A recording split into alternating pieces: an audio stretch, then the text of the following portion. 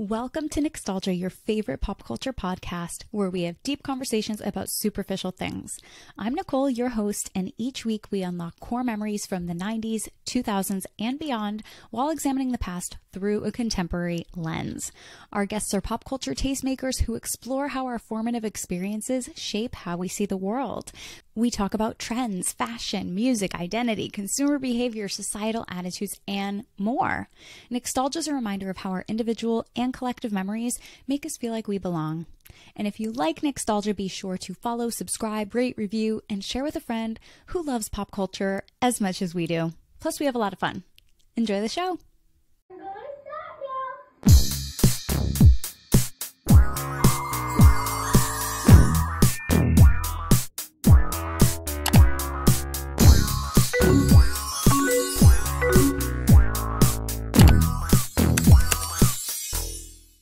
Hello and welcome to this week's episode of Nicstalgia. I'm super excited because I have not one, but two guests with me today. They are both from the No More Late Fees podcast, Danielle and Jackie.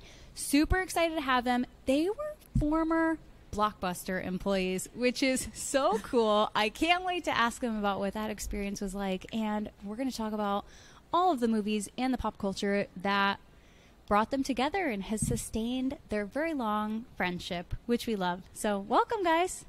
Thank you. Hi, thank you so much. We're so happy to be here. I'm very excited that you guys are here with me. So, okay, very important. You guys both worked at Blockbuster. Did you meet there when you were both employees? Um, no, we actually we actually met in high school. Um, and Jackie was the first to get a job at Blockbuster, and then um, I couldn't get a job at the Blockbuster she worked at. They were fully staffed. So I ended up working at a different Blockbuster, but I worked my way to my darling here. Um, and then she ended up being my boss, and I'm sorry because I, I am not a customer service person. When people are rude, I'm rude back. So she had her work cut out for her at Blockbuster. It's true. Uh, I decided, my parents never pressured me to get a job, but I decided senior year in high school because you had to be 17 to work at Blockbuster because you had to rent the, the, the movies that you were renting to other people. And I was like, I'm going to apply for one job and it's at Blockbuster. And if I don't get it, I'm not getting a job because I have hard opinions on random things. And so I went, I nailed the interview. I started working there. I loved it. I ended up working there for seven and a half years. Um, got Danielle to apply, a couple of other friends, my sister uh, ended up applying and working at Blockbuster where she met her now husband. So we are very much a blockbuster family. oh my god, a blockbuster love story. Yes. Wow. oh, and that it's is also kind of how Jackie met her husband too, in a It weird is. way. Uh, he was um, a friend of my boss's girlfriend's, if you can connect those dots. But I did, it was Six Degrees of Blockbuster, is how I met my husband.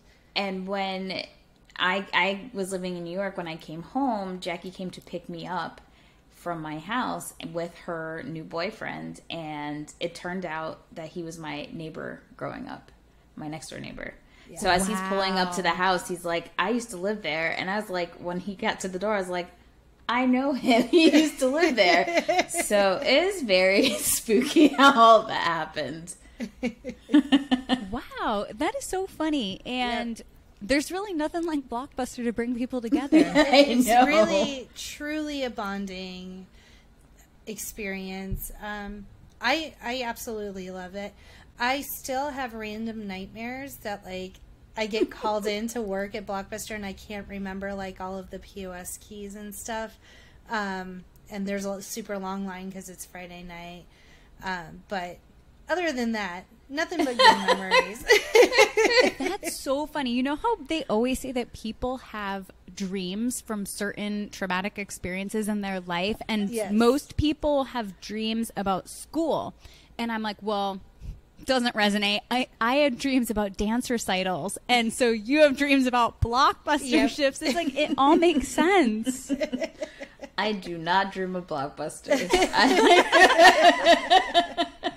yeah, it was a really good time. I, I mean, it, it it it's funny because we watched the um The last, last blockbuster, documentary during COVID, um, the beginning of the pandemic, and I mean.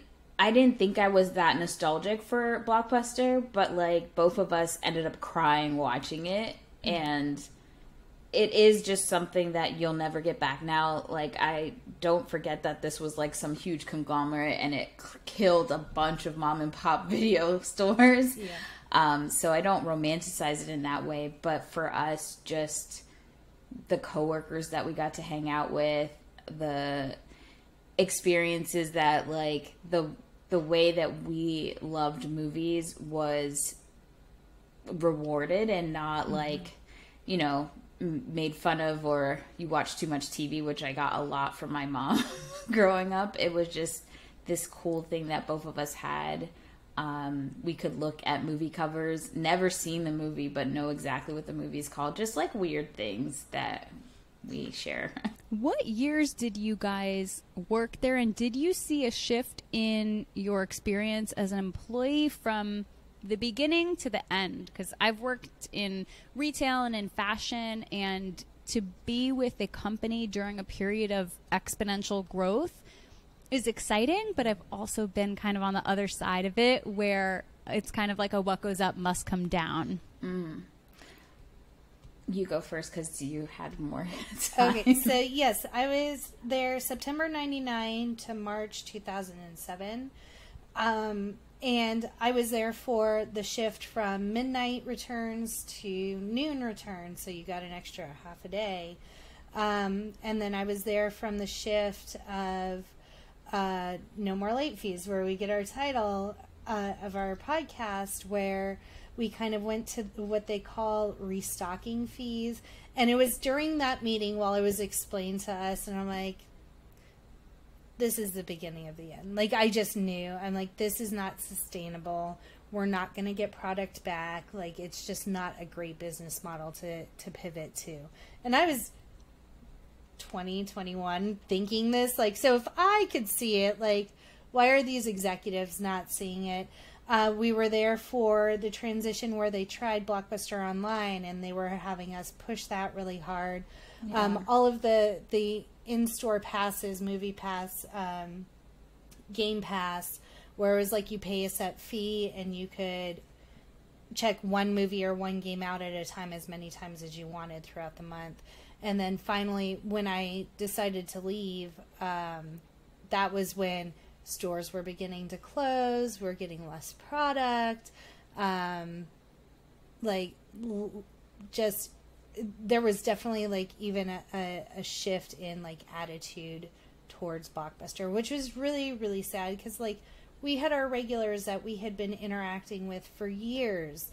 And um, to kind of have to step away from that was was a big change for me because I had spent good majority of uh, my college and post college life at Blockbuster. It, it was my cornerstone. So Yeah. Did you guys ever have to pay late fees yourself? Was there like that one movie where you're like, ah? It was usually so we got five free rentals a week, and um, usually any late fees that I occurred was my family's fault. Like if I got my brother and sister or my mom something, they would forget. Like if I said, "Okay, you can have this, but you have to like bring it back," that's usually when I would get a late fee. Um, I think more of the late fees that I uh, got was after, like, when I wasn't working continuously at Blockbuster. It was like my family was probably using my card or something, and and I'd come back home and there'd be late fees.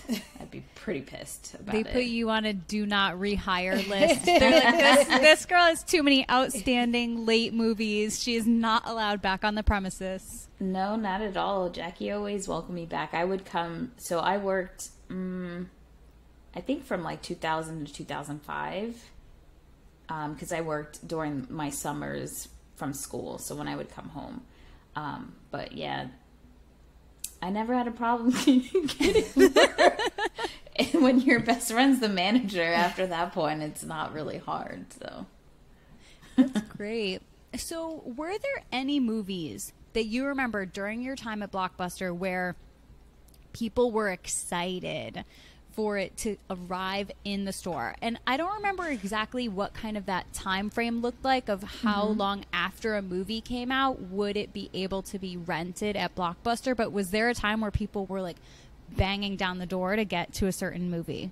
Yeah. Um like pretty much it's like any of the blockbusters that you would see at the movie theater is this it would be the same thing but relatively there would only be a few times throughout the year where it'd be kind of like a dip where the only new release we had was kind of a dud. Mm-hmm. Um, but like when Spider Man came out, the Harry Potter series when that came out, and Jackie was there when the Mummy movies came out. She missed this, but she was there when they were transitioning from VHS to DVD. That was a nightmare. Oh, yeah. I'm glad I missed that. Wow. Yeah.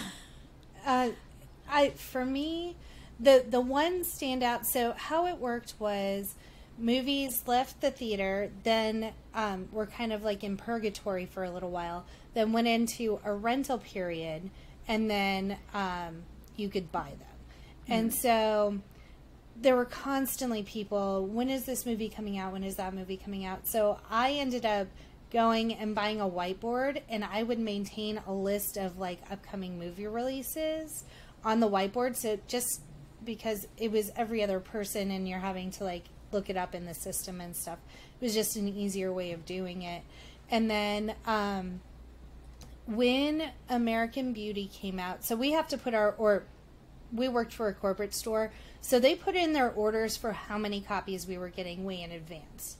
And when American Beauty came out, they put in an order for I think like 29 copies. Well, that was prior to it winning Best Picture. So once it was nominated for Best Picture, they held the release date back. So we re- it wins Best Picture, and we're re- released it the next Tuesday with only 29 copies, and people were livid because you could not get it. It was always checked out, and I'm like, yo, this is not a great movie anyway, so you're not. Don't believe the hype, but that was the one I remember where we just got so little inventory. And we worked in Boca, which is a different clientele. It's mostly older. Um, and so that type of movie was right up their alley anyway. And it was just like, just getting yelled at daily for weeks that we never had this movie in stock.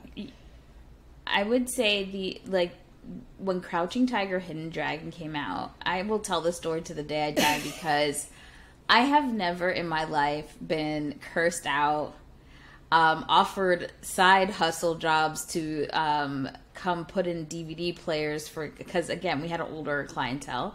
Um, I was like, yeah, that's I'm not coming to your house to set up your DVD. I'm sorry.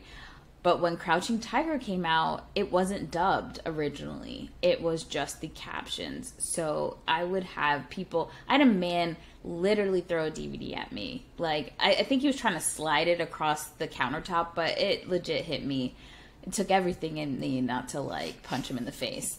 And he was like, What's all these words on the screen? I'm like, Sir, this movie is not from America. It's in a different language. It's called captions. Like what it says it on the box. Like they were mad. That we was got, that was a really hard Yeah. hard time in our blockbuster careers was this stupid subtitled Crouching Tiger, Hidden Dragon. Now looking back at it, I realize that that was such a huge movie and a turning point, kind of now it's so normalized where on Netflix you have a ton out of South Korea and out mm-hmm. of Spain, and people all over the world watch these various movies or television shows, whatever. And now maybe it's just because I can't hear as well. I don't know, but it's like I watch everything, even in English with Same. closed captioning. I can't watch anything. And now, especially with newer things like on Netflix, whoever writes those subtitles, excellent job. They will Yeah. put the most like if you watch Stranger Things, they'll put instead of like you know creepy noise or like noise in background, it'll be like squelching noise, and it's like I somehow know exactly what you're talking about right now, and it gets so descriptive, and I'm like that's really cool. I am not team dubbing. I think that number one, it's just lesser of a enjoyable viewing mm-hmm. experience but i Yeah. think too if it's in a language where i understand. It's so much more useful to hear the original word and the context that it belonged in and then when you hear the english you're like oh that's that's very interesting. They decided to choose that word to or they chose that translation to represent whatever the original idea or intention was behind it. But even as you mentioned the transition to from VHS to DVD I'm like whoa I literally forgot about that. And nowadays I mean it's kind of funny. So my Grammy she doesn't have Wi-Fi. And recently she said to me and my sister you're telling me everybody has Wi-Fi. And we're like yes. She's like everybody like on the, on my street yes. Like just everybody has it. And she's like Wi-Fi. I don't even know how to work the VCR player. And I'm like don't worry. Nobody under 25 knows either. And so it's like the fact that we've just completely phased out even a piece of technology from our own lifetime it's pretty fascinating. I think it's so interesting. We and it, it, we had that transition, and then we also had the transition from the three fourths format to more of a widescreen format. So that was another time that people would get very upset. And I finally found a, a, a screen cap of the mummy, and it was like showing that in the widescreen version there were three characters. In the the full frame f- format, one of those characters you can't even see. Like they crop them out of the screen, and it wasn't until I found that visual people were just like, "My TV's broken. I got these black bars on the top and the bottom," and we're like, "That's how you're supposed to watch it now." I don't know what else to tell you. You can't get rid of them. I don't know. and, and now we're like seeing the format change a little bit again like mm-hmm. you know and that has to do with social you know we have youtube is a certain size and now instagram has moved to and tiktok more of um Vertical format. vertical versus horizontal. So it's just like watching all of this technology change. And we were also at Blockbuster at the time that like the industry was trying to figure out if where was the next step after like DVD, right? So it was a competition. Uh, like, I think it was a competition between Blu-ray and what was the other one? Was it the laser HD. No, it's HD DVD is what it was. Called. Yeah. And so we're like, everyone's trying to figure out which player they need to buy. Um, it, that was like a confusing thing. So it's just like, it was very tiresome just constantly going through different technology during that time. Yeah, and it, with my first well, first couple of paychecks, I had to save up for it. My very first big purchase after getting this job was a DVD player, and I was so excited. And it died probably it's probably ten years ago now. Uh, but it lasted almost 20 years. But I was so sad because it was like my first big grown up purchase. It was like $250 in 99 and I was so proud of that little DVD player. Uh, but I think the best thing was the combo, the VHS TV combo. Um, but it would piss me off because if the VHS player broke, you know, if one of the items, one part of it broke, you would be stuck, right? Yeah. That, but like that was a time when they were making the they were making them pink and like personalized. They don't do that anymore. Like, it's I miss that. Those TVs were so cute. I know there's an Instagram filter I don't know if you've seen it, but it's a little pink TV, and I'm Yeah. like, that's cute. I kind of want that. I miss I missed that. I miss our little Walkmans, all of Yeah. that stuff. That was a, a really fun time in the early 2000s. The book of CDs 90s. you had to keep in your car.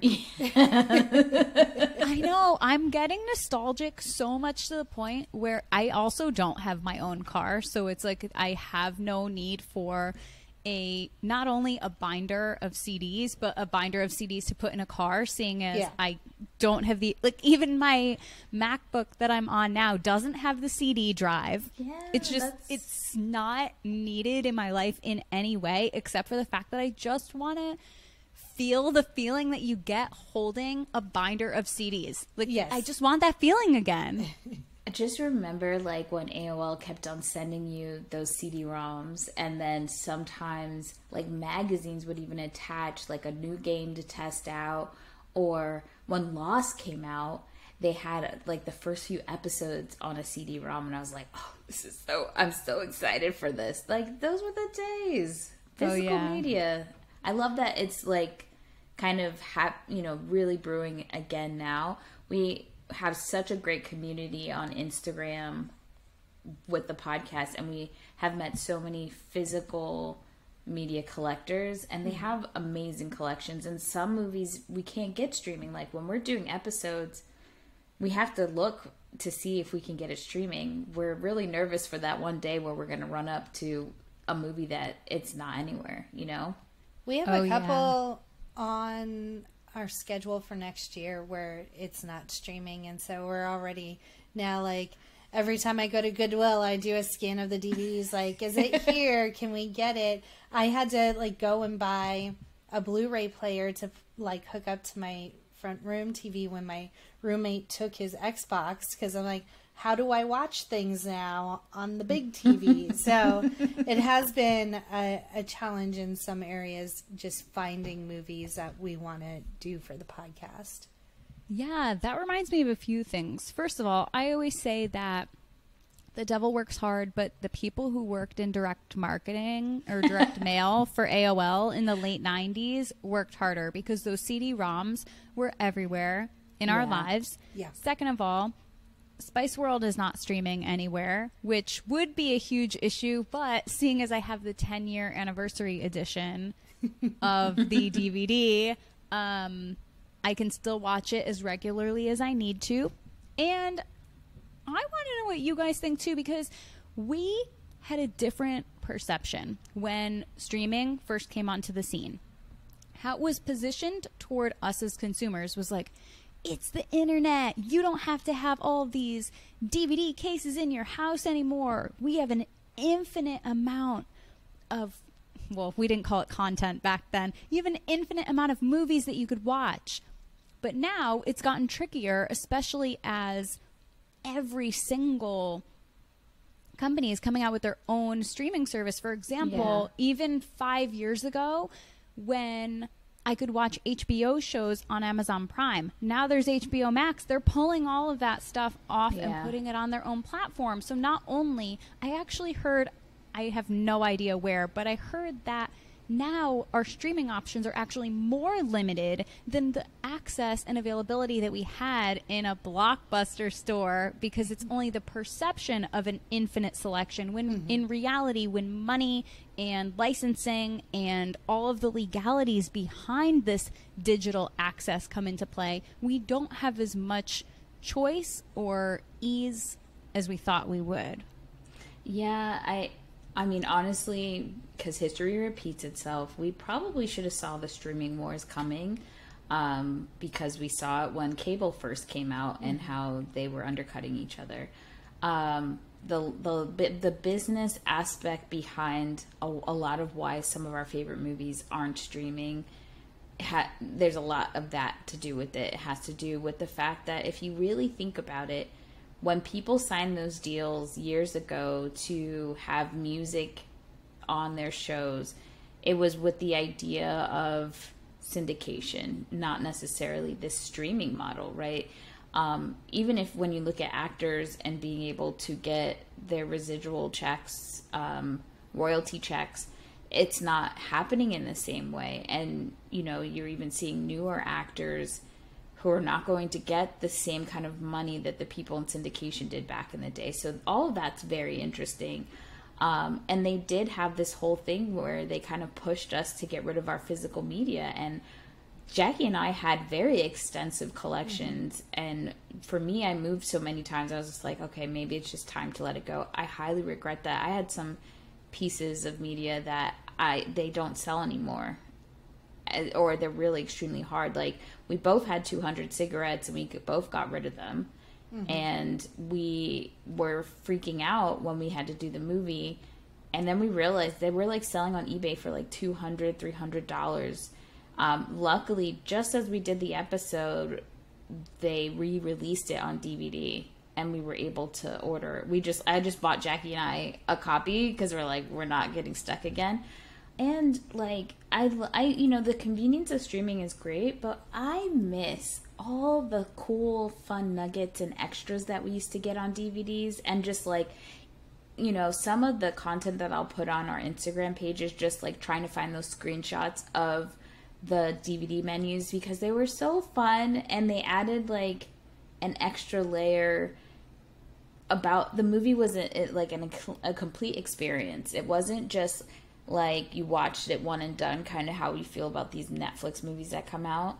But like you knew you were gonna rewatch them over and over again, and mm-hmm. every time you got a new experience, there's commentary. Like the actors would sit with the director and tell you all these really cool things about the movies that. So each time was just different, and we don't get that anymore. Like I mean, now we have like a bunch of interviews and we have TikTok and stuff like that, but it's just not the same. Like, mm-hmm. it sucks. Yeah. What was an episode of your podcast that you've done? Um, our 13 Ghosts episode. I just, it was the feeling I got doing it. It was so much fun. It was fun talking to Danielle, who does not like horror movies, exactly. about this movie. It had Matthew Lillard in it, which is already a home run for us. And the guest we had was great. It was just one of those things where I can't put my finger on exactly why I love that episode. It was just from top to bottom so much fun to record. The other one was The Mummy. Um, our guest was Lindley Key. She was the one who um, had the one on one with Brendan Fraser and told him, We're all rooting for you. We're all so happy that you're back. And he started tearing up. She did The Mummy with us. And it was so much fun. She was so knowledgeable and so gracious. And it was just a really, really well executed episode in my opinion. Like we had all the facts in there, the the banter, the rapport, it was all there. Plus it's the mummy and what's not to love about the mummy. yeah. that that was a really good episode. Um, when we did our end of the year show, I said our my favorite episode last year was um, Independence Day. We have a lot of guests on our show, and we love our guests. We have a really good time. Um, but it was one of those episodes where it was just me and Jackie, and it was kind of like the core of our friendship of us just laughing and finding the silliest things hilarious. Um, and the stress of it because that was the first time we tried recording on a different platform and we damn near lost the episode and our sound. Like things were just so stressful with that one episode. But we laughed so hard doing that episode. So that's definitely one of my favorites.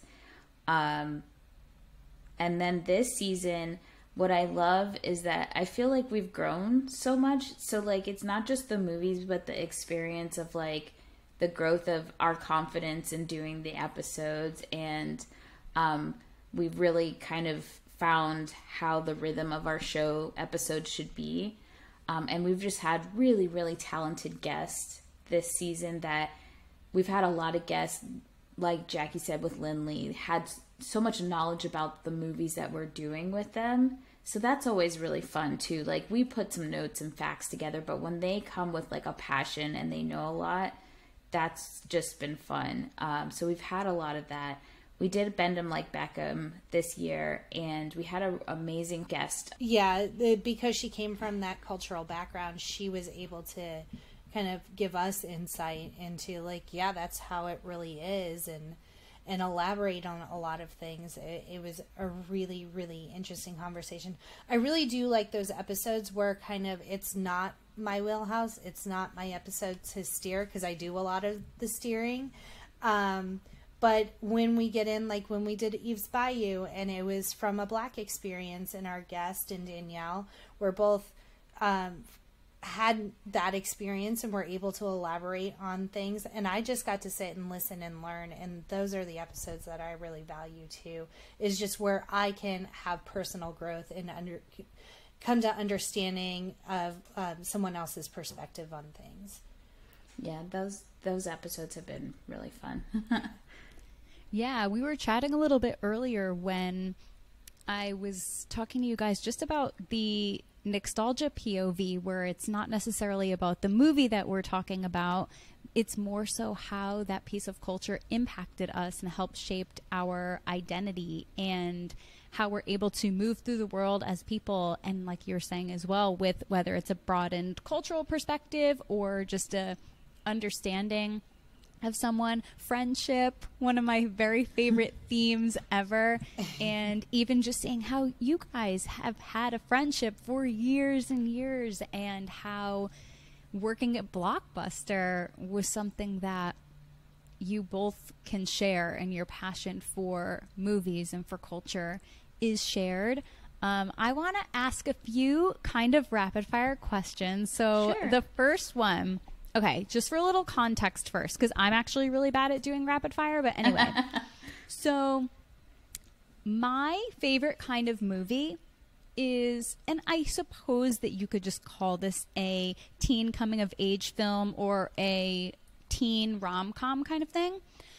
But I get the greatest comfort from Gen X ensemble casts mm. because it's like there's so many people even as you mentioned Matthew Lillard before, it's like, okay, you know this movie's going to be good because you recognize at least like five people in it and they're of varying degrees of fame. And so they're just enough people where it's familiar to you, who you recognize.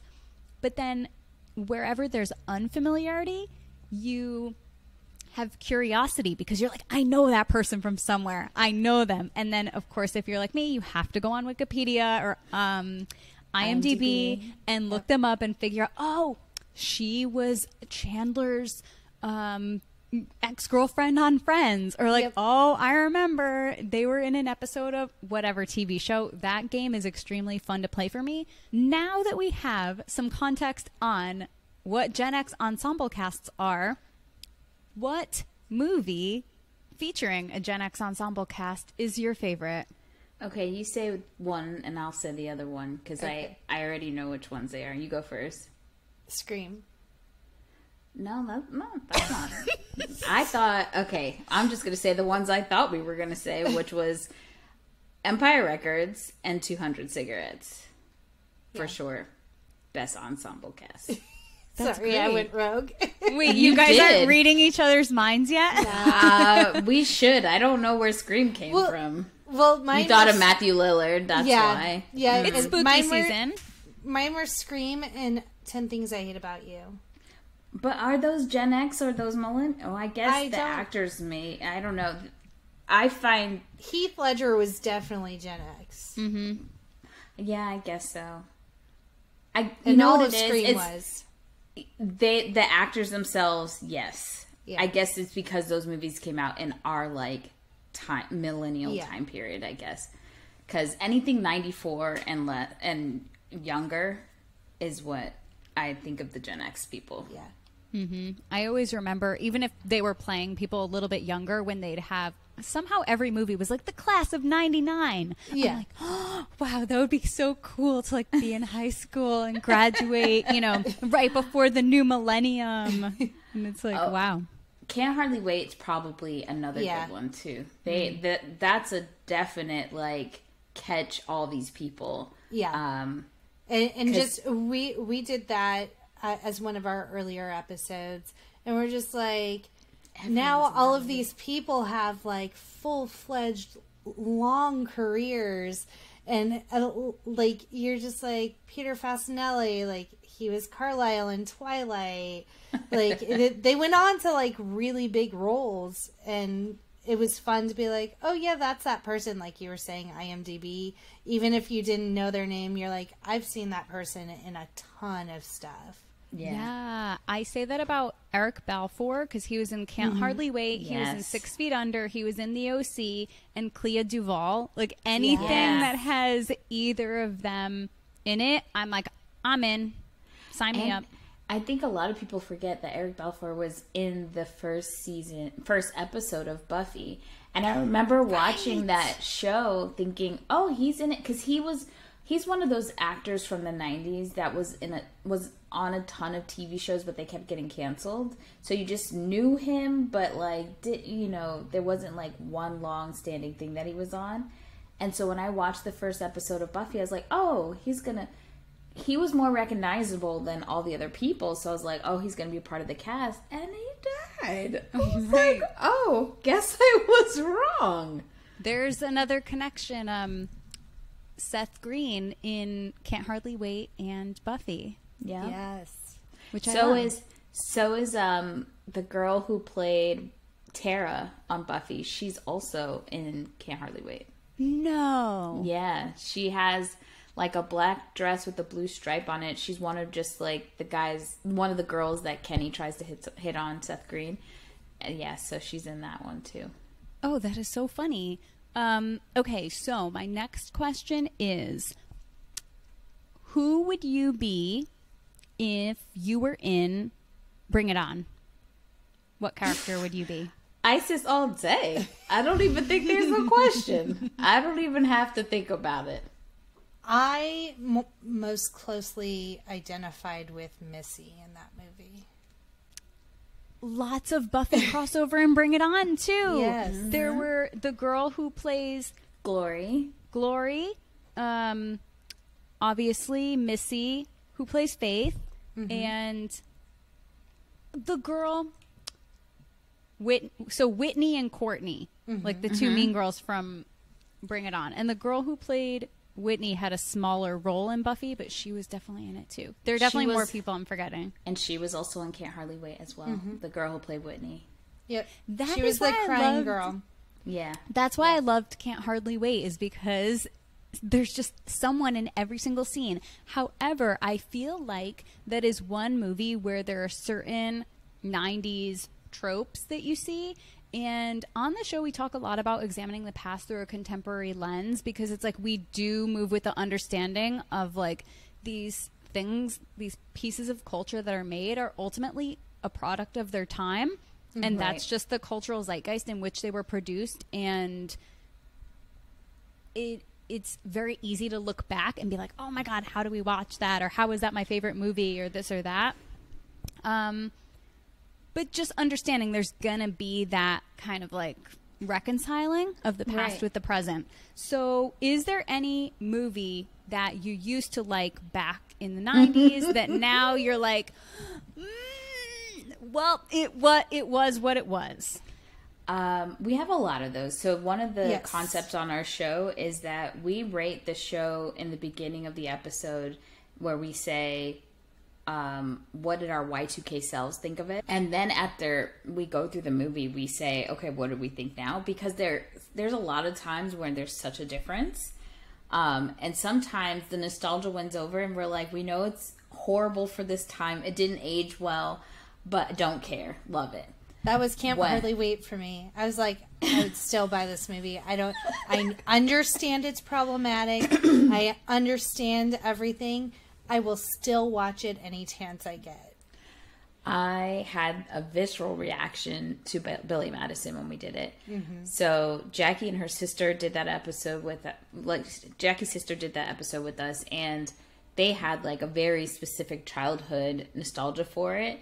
And I used to love that movie, but when I rewatched it, I was like, "This is bad." like I there I didn't find many redeemable things about that movie, and that was really hard because they loved it so much, and I was like, uh, y'all, this is bad. I think the worst one we have encountered is heavyweights to the point where Danielle called me like five minutes in and was like, I don't think I can watch this movie. And I'm like, you know what? We we owe it to our audience to do it so we can discuss how disgusting and problematic this movie is. It, it We- was it was horrible. We also didn't have nostalgia tied to it. That was No. not a movie that both of us watched a lot, and I think the a lot of people who are obsessed with that movie, it's the nostalgia for mm-hmm. them.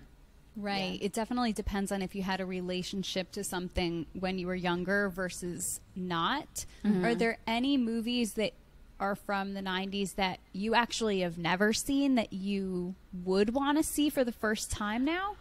Oh, you know there there are a few like little ones that like indie films that I'm like, how did we miss this? Um, I'm trying to think of what their names are. That's the other hard part.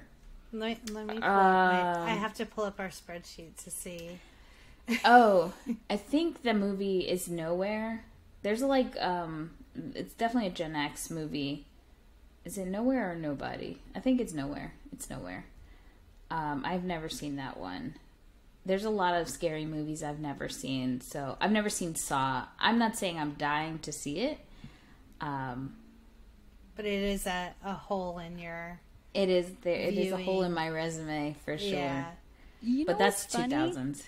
You know what's funny is I actually did see Saw through Saw 5 in 2008 when Saw 5 came out. Oh, we wow. had a whole I was in college and we had a whole marathon and I have no idea why because I guess at that time I could just handle a lot. Now I don't have the heart for it and also when I was a child I talked about this a few episodes ago with someone how I was literally terrified of everything as a child and when I would go to the movie theater and they would have giant horror movie posters, I would like start crying if I looked at it. There's one movie in particular which I'll have to tell you. I refuse to say it on the air because I know someone will send me a picture of it and ruin my life and re-traumatize me. Oh, no. But even like going to Blockbuster, I had to go literally shield my face away from the horror section because I had a visceral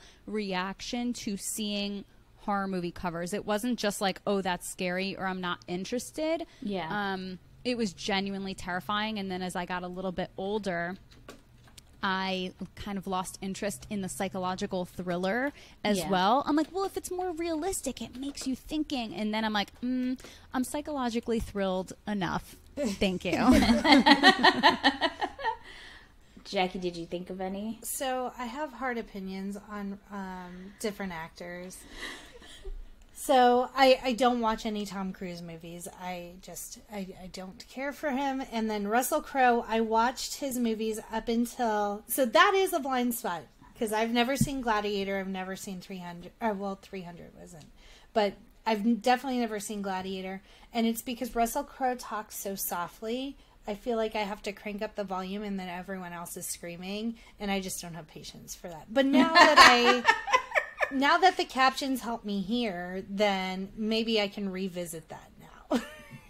yeah. I would be like that too, where you turn it all the way up and then something scary happens or there's like a and then I'm like, now I'm terrified and scared.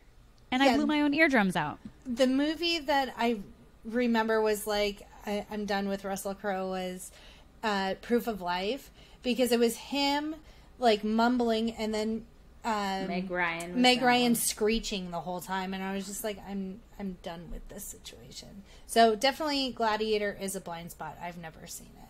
Well, we did the sweetest thing, and I think so many people like sleep on that movie. But we found like so a lot of people love that movie too. I don't know if you've seen that one. That one is definitely in that. It took a, ron- spin ro- off yeah, like a raunchy, raunchy comedy, com- but it's for women. Yeah, it, it's from a female perspective, which we super appreciated because we didn't get a whole lot of that in the late '90s, early 2000s. Um, but yeah, I'm real nervous to do like American Pie and like Van Wilder because I loved those movies, but I feel like I'm gonna watch them and be like, "What was I thinking. I did recently rewatch The Sweetest Thing. That was one I had on DVD. I have seen that movie many times, and the most recent time, it's one of those like how we were talking about before because I have nostalgia tied to it. That was a movie that I would watch with my college friends, and we would all laugh and we'd be like, "I'm Christina," and you're, you know, and. But if I saw it for the first time now, I would be like, hmm, okay, interesting.